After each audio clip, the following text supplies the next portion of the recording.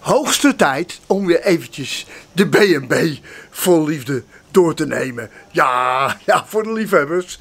Ja, we beginnen natuurlijk bij de zweefclub. Ja, met Jomanda en met Friesekoop. Ja, want eh, het, het is toch wel een heerlijk idee. Dat, eh, toch wel geruststellend. Dat ze ook binnen het zweefgebeuren, zeg maar het Hoevercraft-syndroom, dat ze daar ook boos kunnen worden. Ja, want dat zagen we dus bij Friesekoop. Want die Jomanda, die, was, ja, die, die is natuurlijk helemaal vol van zichzelf en blij met zichzelf.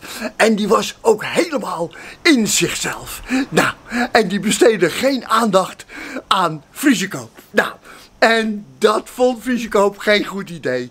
Die voelde zich beledigd, ja. En die voelde zich ook niet gerespecteerd. En daar stoom uit de oren en die wilde gelijk naar huis. En die deed dat ook en die zei de groeten. En toen werd er ook ineens binnen het zweven niet meer geknuffeld. Nee, daar had Friesekoop dus ook even de buik van vol. Nou, dat is wel een heel geruststellend idee. En nou zit Jomanda alleen nog opgescheept met een heks. Nou, wat dat allemaal moet geworden, vrienden. Ja, daar verheugen we ons nu al op. Dan schakel ik snel door naar Hoedje. Nou, Hoedje, ja, dat begint toch ook zich leuk te ontwikkelen. Want we hebben daar die Olof, hè, bijgenaamd, niks mis mee. En niks mis mee, die... Die babbelt maar wat. En niemand verstaat hem echt. En dan loopt er maar een beetje vlot.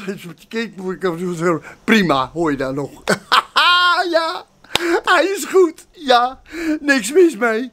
Maar ja, dit komt dus verder helemaal niet aan bod.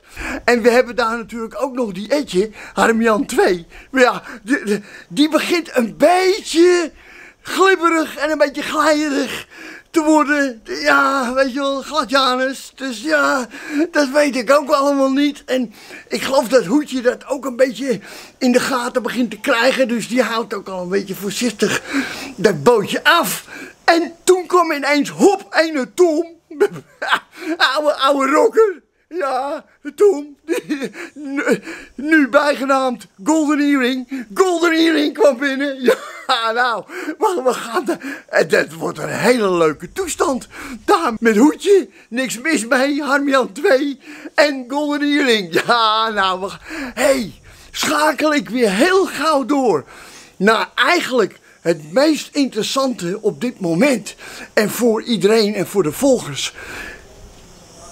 Hobbelpaard en Debbie, ja!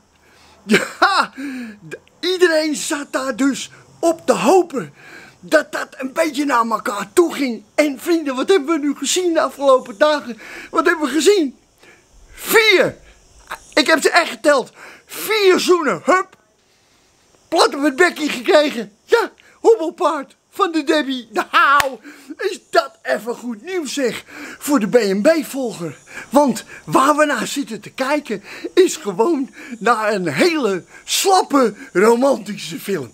Ja, zo weet je wel, een film van uh, uh, mannetje, vrouwtje, zien elkaar, vinden elkaar leuk, draaien een beetje om elkaar heen. Een van de twee weet het nog niet en die, die twijfelt dan en dan zien ze elkaar weer even niet.